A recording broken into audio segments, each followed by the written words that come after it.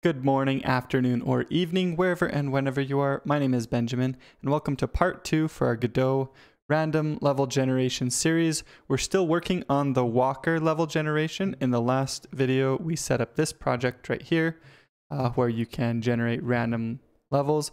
These levels aren't very clean, and depending on the type of game that you're wanting to make, you might want your levels to look cleaner than this. These are pretty random, uh, and so that's, I'm gonna I'm gonna come in here. I'm still noticing the flickering, so I'm gonna try turning on the NVIDIA flicker workaround. I think that'll probably help. So these are pretty these are pretty messy, and so maybe this is something that you want for your game. Maybe you want your levels to be a bit more messy like this. You know, like if this were an ant colony or something, they would probably have messier tunnels like this. If you want it to feel more like a dungeon, we're going to do, we're going to make some changes today that will help it feel that way. And let me show you what that's going to look like here. Uh, let me grab this real quick. Comment out a couple things here. Here we go. Run this. And here you go. So this is still using a Walker level generation system, but you can see it has a little bit more uh, it looks a little bit more uniform. We've got some different rooms with slightly different sizes and uh, hallways that kind of connect those rooms. And I'm going to show you how I set up a system like this. And you still don't get, you know, perfectly, the dungeons aren't always perfect, but this is a, still a Walker level generation system. And you tend to get dungeons that are a little bit more sporadic with this system. So let's talk about the algorithm for how this setup works. Basically, with this setup, every time you make a turn, you create a room in that turn. And you create the room with different sizes, and that gives you this. Sometimes you create multiple rooms and they kind of overlap each other, but that's okay. You can get kind of bigger rooms this way with some interesting connections to them. And so let's get started with that. The first thing we're going to want to do is come into our Walker right here. And at the end of this, we're going to add a new function called create room. And when we create the room, we want to create it in a specific position. So we'll pass in that variable here, position. And we can create it with a specific size and you can you could have it pass in the size if you wanted, but I'm just going to have it create a size inside of the function here. And so the size that I'm going to do here, var size, is going to be vector 2 rand i 4 plus 2 rand mm-hmm. i 4 plus 2. So it's a vector for the size and it's going to get a random integer between 2 and 6, or 2 plus 4, right? And so let's look at the documentation for randi real quick so you can understand this code a little bit better. Randi returns a random 32-bit integer, so you get a really giant number if you just call randi. However, if you use this operator here, pretty sure it's the mod operator, uh, you can you can get an integer between a certain value. And so randi mod 20 gives you 19. Like the or zero, a number between 0 and 19, right? And so in ours right here we have randi mod 4, that means we're going to get a number between 0 and 3. So 0, 1, 2, or 3. However, if you add to that, then you can get numbers between like if you add 1 here, then you get between 1 and 100 instead of between 0 and 99 like we see up here. And so we can easily get this will give us an we're adding 2 so that's going to get us actually I lied it's it's going to get us a number between it's going to get us a number between 2 and 5. Well, let's see 2 and 6. 2 and 6 is what my gut tells me, but let's see, 1 and 100. So if I added 2, it would be 2, It would be 2 and 101. So yeah, I think it is 2 and 5 here. Gives us a number between 2 and 5. Either way, we get two numbers randomly uh, chosen between 2 and 5 for this size. That way our rooms aren't always squares. They can be rectangles sometimes. Okay, now we can move on to the next step, which is getting the top left corner of this room. That way we can have the room centered on our current position. So var top left or top left corner equals, and this is going to be our current position, position, minus the size divided by 2.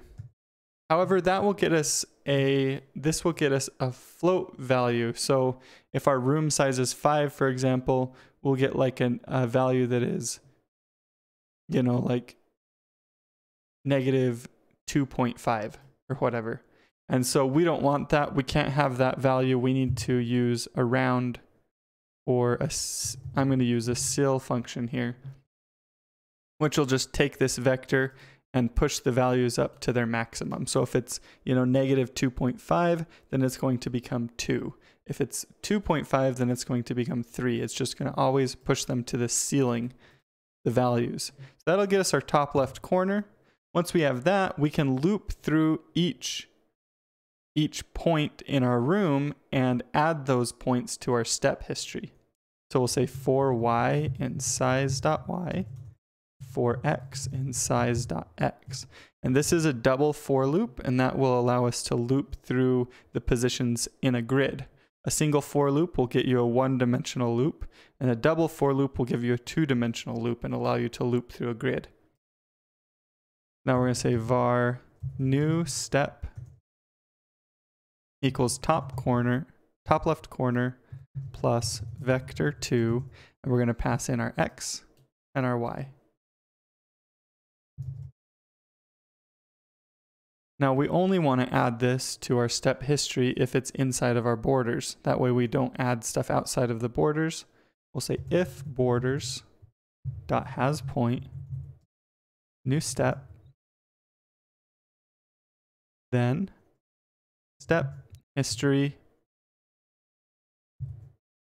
append, new step. There we go. That should allow us to only add these when we when they're inside of our borders. Now, when are we going to add a room? Well, we're going to do it every time we change directions. Let's see, we do have a change direction here at the very end. Else change direction. So we'll put it in here. We'll just, inside of our change direction function, we'll do create room. And we also want to create a room right when we initialize, like at the very start of calling walk here. We'll just call create room. So that's the starting room. Okay. And Oh, we have to give them both the position. So make sure you pass in our position to both of these. There we go.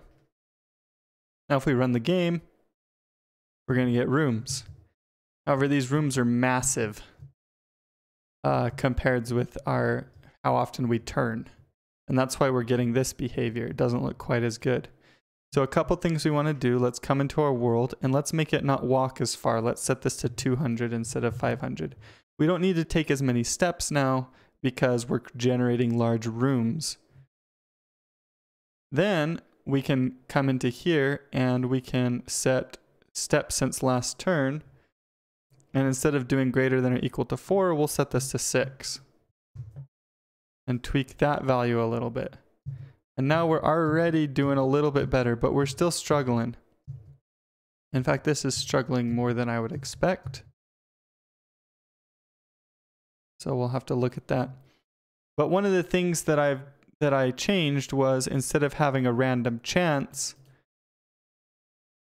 we could instead of doing or here, we could do well, let's let's just remove the random chance completely. Actually, I want to experiment just a bit. This is branch. This is going off of the going off the script a little bit here. I want to try making this an and and seeing what that does. Huh. Kind of interesting. So it's fun to play with these values and see what you get. You get really long hallways this way. So we might want to increase, like you could lower, you could increase the chances here. So make this 0.5 or so. We could increase the chances of getting a turn once you get past six, but not always turn. And this gives us pretty good level generation. It's a little bit less uniform than what I was showing you before. So if you want it to be a little bit less static, a little more random looking, this would be the way to go. It creates some pretty interesting levels. I actually like this. I like this too. But now let's do what I have in my other my other example, which is in my reference project, which is where I just take out the randomness completely. So it, it turns every six, it will it's guaranteed to turn every six steps.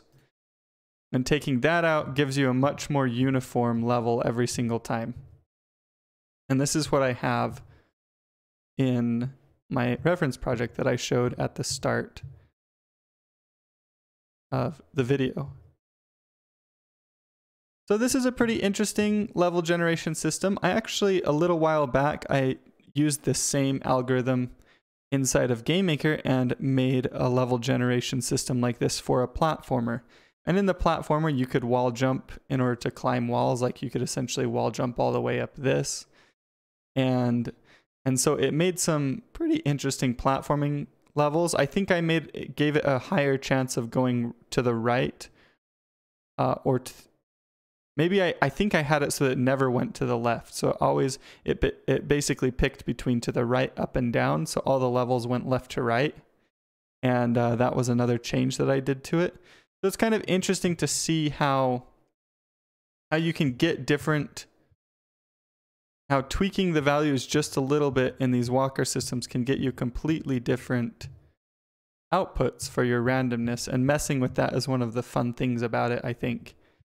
Trying to figure out how to mess with them to get something that works for your game and the type of project that you're working on so that's going to be it for this video. I hope you all enjoyed it and learned something from it.